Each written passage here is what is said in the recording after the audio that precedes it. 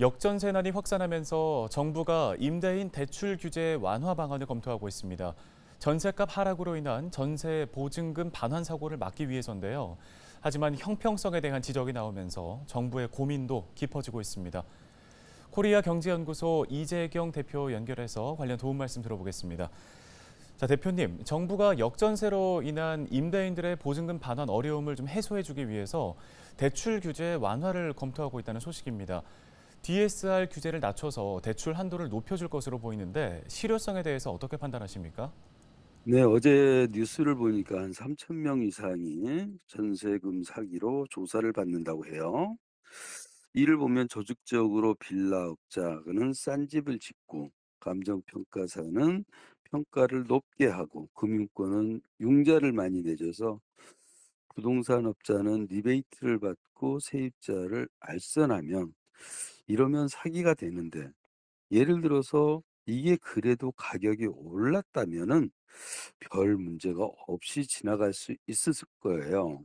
그런데 지금 가격이 20-30% 이상 떨어지다 보니 어쨌 집주인은 전세금을 반환할 돈이 없죠. 그래서 정부가 개입하게 되는데 DSR 총부채 상환율을 높여서 융자를 해 주는 게 좋지 않냐라고 하는데 이는 좋은 정책이라고 생각을 해요.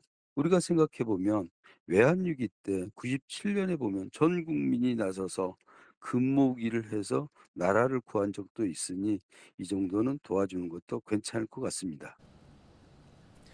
네, 임대인 대출 완화가 결국에는 갭 투자 장하는 결과로 이어지진 않을까 싶은데요. 어떤가요?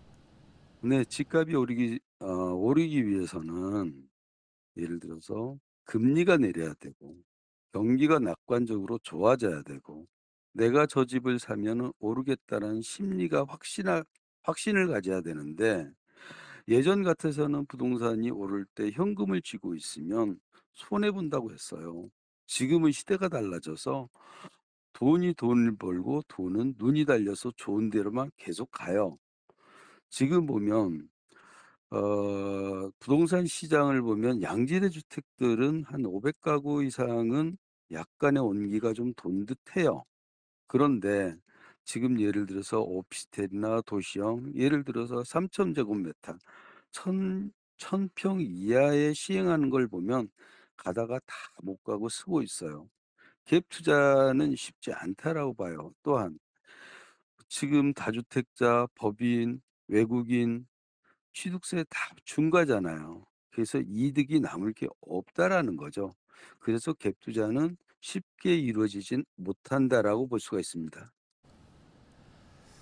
네, 전세 보증 보험만으로는 세입자의 보증금을 보호하기에 한계가 있다는 지적도 나오고 있습니다. 어떤 방안들이 더 논의돼야 한다고 보시나요? 요즘에 보면은 전세 제도를 보면은 전세권 설정, 그다음에 확정일자, 그다음에 보증보험이 있는데 이를 다 대항력을 갖추기 위한 제도죠. 그런데 지금 이 제도를 잘 사용하면 되는데 항상 큰 돈이 움직일 때는 꼭 채권 행위보다는 물권 행위를 해야 되거든요. 선순위의 등기가 없어야 어 1 순위로 들어가야 되거든요. 근데 전세를 얻을 때 가장 중요한 것은 등기라고 생각해요. 계약할 때 등기를 열람을 하고 선순위가 있는가를 확인을 해 보고 선순위가 있으면 가급적 피해야 되고 또한 잔금 때도 등 등기를 열람을 해서 안전해야 들어갑니다. 최소 전세금을 포함해서 집값의 50%를 넘지 않아야 돼요. 그래야 안전하게 들어갈 수 있거든요. 그래서 꼭 그 등기를 확인하고 어떠한 그 전세 계약을 한다든가 잔금을 치르면 안전하다고 생각을 합니다. 네.